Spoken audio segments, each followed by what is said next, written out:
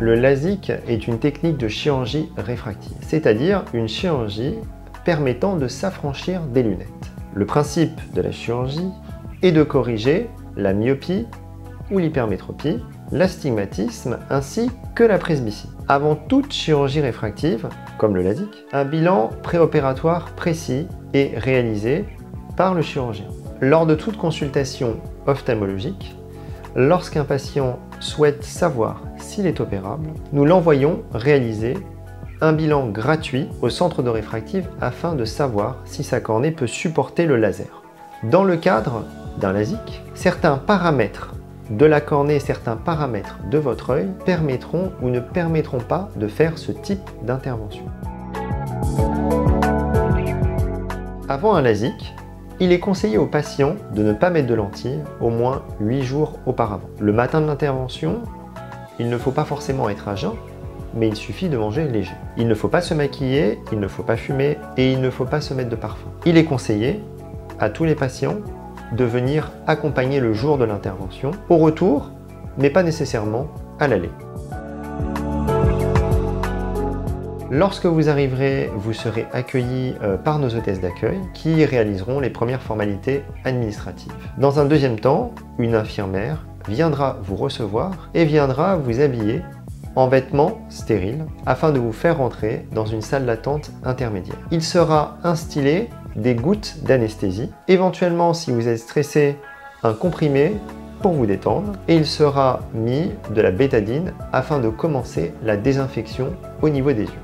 L'infirmière euh, vous accueillera ensuite et vous fera rentrer en salle d'intervention où se trouve d'une part le laser femtoseconde et d'autre part le laser Excimer. L'infirmière euh, vous invitera à vous allonger confortablement sur le dos. Il vous sera placé un petit écarteur de paupières afin de maintenir l'œil ouvert. La première partie consiste au LASIK réalisé au laser femtoseconde. Vous êtes donc en position allongée et un cône va descendre au niveau de l'œil et va venir au contact de votre cornée. Le laser ne dure que 15 secondes par œil. Nous commençons toujours par l'œil droit, puis ensuite le côté gauche. Vous pourrez sentir une légère pression au niveau de l'œil, mais il n'y aura pas de douleur spécifique. Une fois cette première étape réalisée, votre vision sera floue et ceci sera complètement normal. Ensuite, le brancard est décalé pour arriver sous le laser Excimer c'est-à-dire le laser qui permettra de supprimer votre myopie ou votre hypermétropie, votre astigmatisme ou votre presbytie. Dans un premier temps, il est procédé à la désinfection oculaire et périoculaire avec un désinfectant comme de la bétadine. Dans un deuxième temps, un champ opératoire stérile est placé afin de réaliser la chirurgie.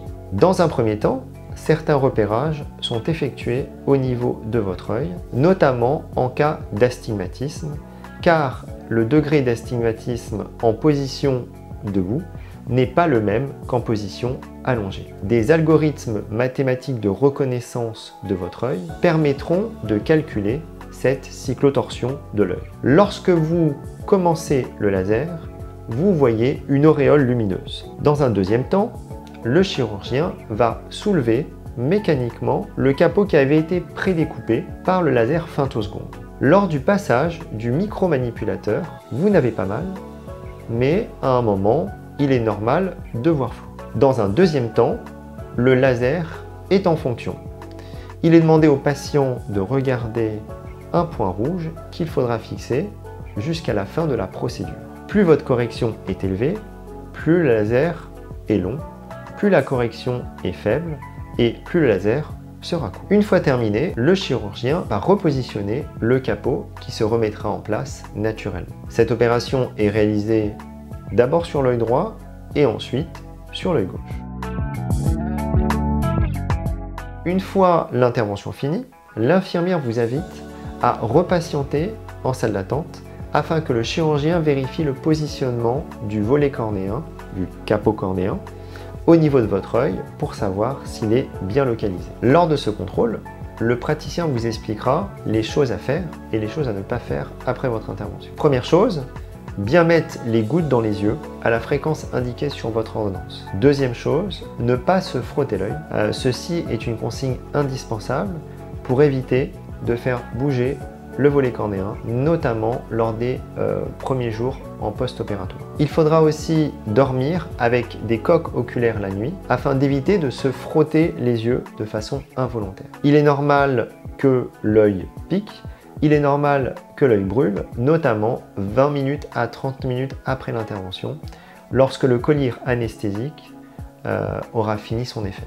Il est normal d'avoir une fluctuation de votre acuité visuelle les jours qui suivent. Il est normal euh, d'être ébloui euh, au début par la lumière et par les phares des voitures la nuit. Votre vision s'améliorera de façon progressive euh, dans les jours qui suivent l'intervention euh, pour arriver à quelque chose euh, de stable à la deuxième, troisième semaine ou à un mois en post-opératoire. Il faudra faire attention à ne pas trop vous exposer au soleil au début. Il faudra faire attention à ne pas aller à la piscine ou faire des sports de contact spécifiques juste après l'intervention. Globalement, vous pourrez reprendre vos activités professionnelles entre 24 et 48 heures. Notre équipe se tient à votre disposition pour échanger sur le sujet de la chirurgie euh, réfractive qui pourra vous permettre de vous affranchir de vos lunettes.